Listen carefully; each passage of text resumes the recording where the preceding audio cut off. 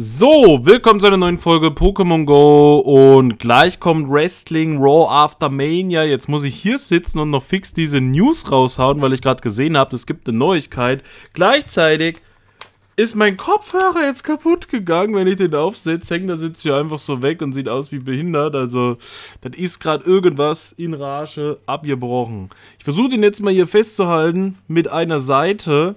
Und ja, muss mir gleich einen neuen bestellen. Hüpft in den Frühling mit Pokémon Go. Ein Frühlingsevent steht ja an, und zwar genau dann am Dienstag, wenn äh, Voltolos in der Tiergeistform uns wieder verlässt und Kabutoro in die Raids kommt, startet auch ein neues Event, das Frühlingsevent. Und wie immer passend zum Frühling gibt es natürlich wieder Blumenkränze.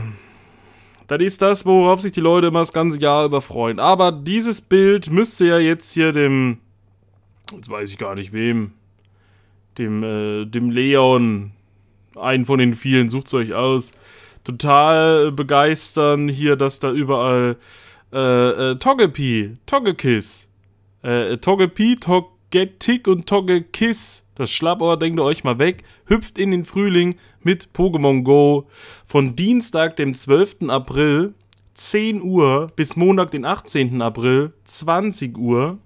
Ein neues Event, Pokémon Debüts. Die waren noch nie mit Kostüm da, passt auf. Neue kostümierte Pokémon erscheinen während des Events. Togetic mit Blumenkranz. Es war zwar bisher möglich, Togepi mit Blumenkranz zu bekommen, man konnte es aber nicht entwickeln. Jetzt haben sich die Leute gesagt, so ein Mist, jetzt habe ich hier ein Hunderter von dem Ding und kann es nicht entwickeln. Kann man jetzt also Togepi trotzdem mit Blumenkranz entwickeln? Wer also ein gutes hatte, das jetzt noch besser machen kann, indem er es weiterentwickelt, Wäre auf jeden Fall ultra brutal. Ansonsten würde es wohl Togetic mit Blumenkranz in der Wildnis geben, als Shiny auffindbar, so und entwickelbar zu Togekiss mit Blumenkranz, Schlappohr mit Blumenkranz auch, wild oder zumindest entwickelbar. Heißt noch nicht mal, dass das wild ist. Ich glaube, ihr könnt die einfach dann durchentwickeln. Also das heißt, wenn ihr richtig Pech habt, müsst ihr vielleicht sogar dreimal Togepi mit Blumenkranz brüten, um dann die Familie mit Blumenkranz voll zu haben. Aber egal, das sehen wir ja unten bei Wilde Pokémon. Es ist jetzt also dann möglich, euer Shiny Togepi mit Blumenkranz zumindest zu entwickeln, denke ich mal. Auch das legendäre Pokémon Kabutoro, der Schutzpatron äh, von Ula Ula, gibt sein Debüt in Pokémon Go. Wird jetzt wieder nicht so interessant sein. Verdammt. Wird jetzt wieder nicht so interessant sein für die meisten Leute, weil die sagen, ist nicht ein Shiny da, interessiert nicht lässt man es wieder ruhig angehen. Hier ist übrigens so eine Rosette, da steht Erhalt durch Entwicklung und das steht bei Togekiss und Schlappohr. Also, da ja Haspiror wild ist, müsst ihr den nicht brüden, könnt aber dann Schlappohr mit Blumenkranz entwickeln. Passt. Togetic wird also wild sein und kann dann zu Togekiss entwickelt werden. Kann man aber trotzdem jetzt auch Togepi mit Blumenkranz, ein alles, was man hat, entwickeln. Wäre ja eigentlich äh, sinnvoll, ne? Eventboni, doppelte Schlüpfbonbons, doppelte Wirkungsdauer von Glückseiern, halbierte Schlüpfdistanz, mehr Team Go Rocket Rüpel mit Krypto Flurmel und Krypto Owei. Was hat Flummel denn damit zu tun? Owei, okay, gehe ich noch mit. Begrenzte Forschung, Ei-Meldung, Frühlingsüberraschung. Samstag, 16. April von 11 bis 14 Uhr. Also schreibt es euch auf, Samstag der 16., das ist dann schon in der ersten Woche, also wo Kabutoro da ist. Da kann man also am Samstag von 11 bis 16 Uhr wohl hm, diesen Forschungstag machen. Ne? Besonderes Pokémon, ihr erhaltet Aufgaben für die begrenzte Forschung, wenn ihr die Fotoscheiben von Pokestops dreht. Für den Abschluss dieser Forschungen begegnet ihr Owei. Sowas gab es ja schon mal geht wieder zu den Anfängen zurück. Man hat ja so einen Forschungstag mal gehabt, dass man an den Pokestops sich direkt die holen muss und musste sich nächsten suchen und nächsten. Und wer nur drei Pokestops hat, konnte nur drei Forschungen machen, war richtig blöd.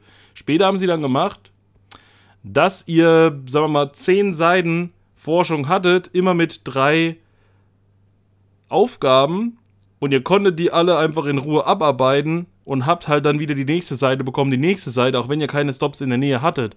Fand ich auf jeden Fall besser, weil das eben für jeden dann gleich viele Aufgaben sind. Wie viel man dann davon macht, hängt von einem selber ab. So habt ihr jetzt ja wieder Nachteil durch eure Umgebung, wenn ihr nicht so viele Pokestops habt. Da bekommen ihr vorzugsweise also Shiny Owei. Wer das noch nicht hat, Alola Kokowai, steht hier nochmal aufgelistet. Zur Feier der Alola Jahreszeit kann Owei während des Events zu einem Alola Kokowai entwickelt werden, das die Ladeattacke Drago Meteor beherrscht. Gab es bisher auch noch nicht, dass man Owei zu Alola Kokowai entwickeln konnte. Also für dieses Event geht das mit Spezialattacke Drago Meteor. Äh, macht das halt mal. Wenn ihr eins findet, macht's einfach denkt gar nicht drüber nach, macht das einfach. Weitere Eventboni hier, doppelte Fang-EP, laufende Eventboni, die werden auch mit eingerechnet, die bleiben weiterhin. Wilde Pokémon während der Sache, Bisasam, Mirapla, Paras, gibt wieder mega viel Staub, Knofensa, Tangela, Indivie, Sonnenkern, Gekabor, Samurzel, alle davon können shiny sein.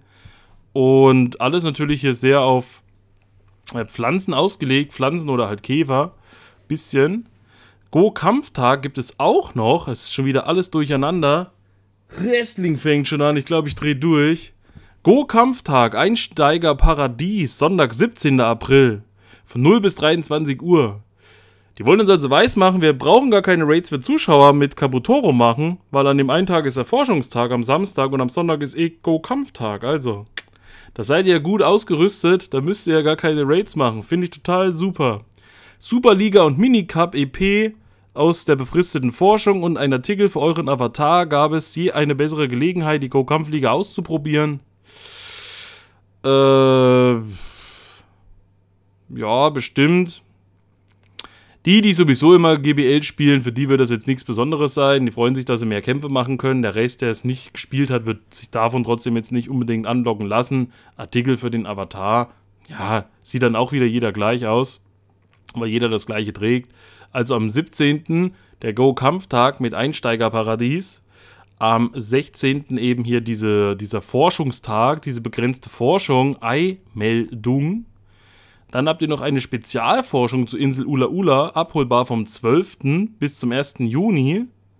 In dieser Jahreszeit könnt ihr an verschiedenen Spezialforschungen arbeiten, um mehr über die Insel der Alola-Region zu lernen. Diese Spezialforschung könnt ihr bis zum Ende der Jahreszeit am 1. Juni abholen. Wenn ihr sie bis zum 1. Juni abschließt, schaltet ihr am Ende der Jahreszeit eine Bonus-Spezialforschung frei. Ich bin eh einer, der immer sagt, wenn ihr irgendwas habt oder seht, versucht das so schnell wie möglich abzuarbeiten. Selbst wenn manche Sachen auch nach Eventende immer noch äh, machbar sind, habt ihr meistens dann die Spawns nicht mehr, die ihr vielleicht dafür braucht und es ist dann einfach deutlich schwieriger, irgendwas festzustellen, äh, abzuschließen. Wilde Pokémon, wilde Pokémon, diese, die folgenden Pokémon erscheinen in der Wildnis. Jetzt machen die mich aber total wirre. Wieso steht hier und hier? Das ist extra, das ist extra jetzt für den Samstag und das ist extra für den Sonntag oder was? Und Eier sind für immer und Raids sind auch für immer. Hä? Das ist so ein Durcheinander gerade. Guckt euch diesen komischen Artikel auf jeden Fall selber nochmal an. Am 12. April fängt das Event an. Okay.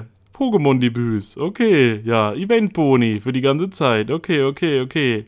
Hier diese Forschung. Ihr müsst nach dem Kreis gucken. Begrenzte Forschung mit Owei.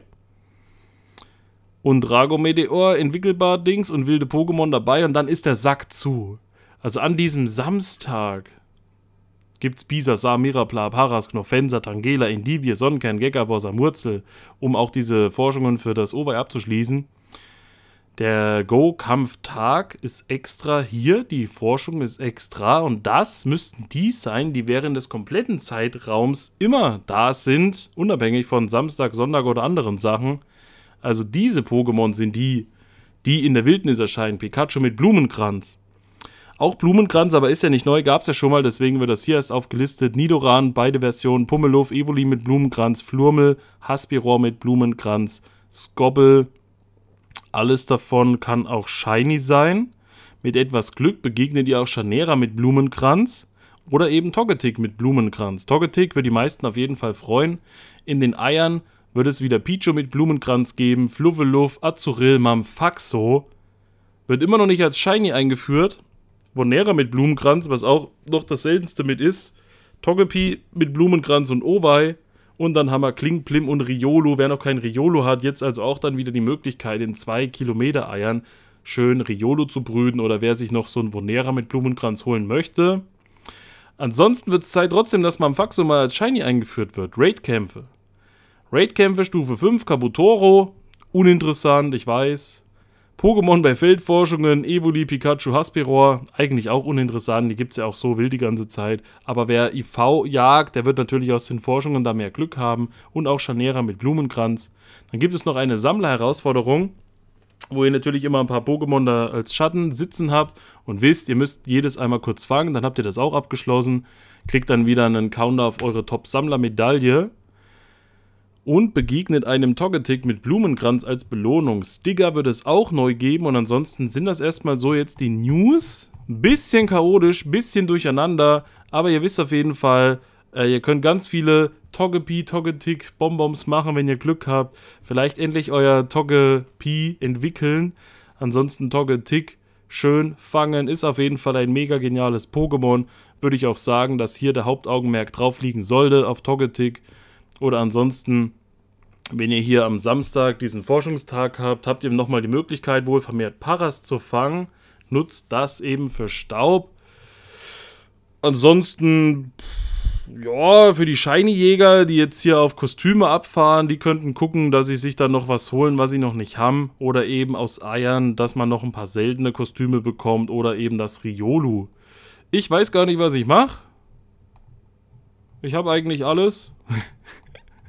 Außer Togetic und Togekiss. Aber ja, die gibt es ja wild auch. Da denke ich mal, wird das passen. Jetzt muss ich mir einen neuen Kopfhörer bestellen. Ich gucke jetzt Wrestling und wünsche euch einen schönen Abend. Und wir sehen uns trotzdem morgen. Raider Mittwoch und Raids für Zuschauer mit äh, Voldolos. Äh, bis dahin, Peace out fort, euer Ramses. Wie findet ihr das Frühlingsevent? Werdet ihr den Go-Kampftag nutzen? Oder habt ihr Bock auf die Forschung mit Owei, wo ihr ganz viel, ganz oft Owei begegnet? Das war's von meiner Seite aus. Ciao.